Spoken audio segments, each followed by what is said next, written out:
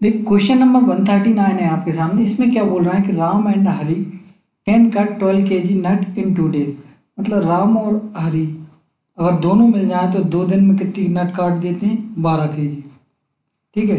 दो दिन में बारह के जी काट देते हैं तो यहाँ से पता चल रहा है अपन को एक दिन में कितनी काट देंगे? छः के जी ठीक है? राम और हरी एक दिन में छः के जी नट काट देंगे। अब क्या होगा कि after five days Hari left the work मतलब पाँच दिन तक राम और हरी ने नट काटी। पाँच दिन तक राम और हरी ने नट काटी ठीक है, उसके बाद क्या हुआ? हरी लेफ़्ट हो गया।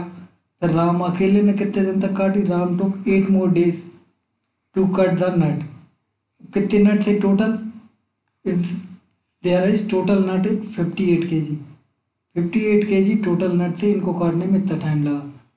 ठीक है तो अपन को क्या बताना है? Time taken by Hari to cut ten K G nut ठीक है, ये करना है। अब देखिए, अपन को पता है कि राम और हरी दोनों मिलकर एक दिन में छः के जी नट काटते हैं तो पाँच दिन में कितने काटेंगे?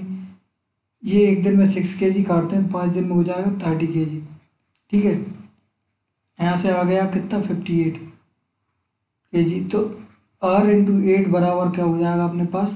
थर्टी माइनस फिफ्टी एट बचेगा ट्वेंटी एट ठीक है? और ये कट जाएगा कितने? सेवन फोर टू जो एट फोर सेवन जो ट्वेंटी एट ठीक है? यहाँ से आर की, राम की एफिशिएंसी कितनी आ जाएगी? सेवन बाई टू राम की एफिशिएंसी आ गई सेवन बाई टू और राम और हरी की मिलकर एफिशिएंसी कितनी है? सिक्स के जी ठीक है? तो हरी की कितनी आ जाएगी? Seven by two minus six ठीक है? यहाँ से हरी की एफिशिएंसी कितनी आ जाएगी? सिक्स टू जब अच्छा सिक्स माइन ये आएगा। थोड़ा सा मैंने गलती कर दी यहाँ पे। ये होगा क्या? Six minus seven by two है ना? तो यहाँ से क्या हो जाएगा? सिक्स टू या twelve minus seven five by two Hari की एफिशिएंसी आ गई five by two total nut kitty काटनी हरी को? टेन के जी टेन के जी नट काटना है एफिशिएंसी है फाइव बाई टू कितना डेज़ लगेंगे इसको? फाइव टू या टेन टू टू या फोर फोर डेज़ इसको लग जाएँगे। ठीक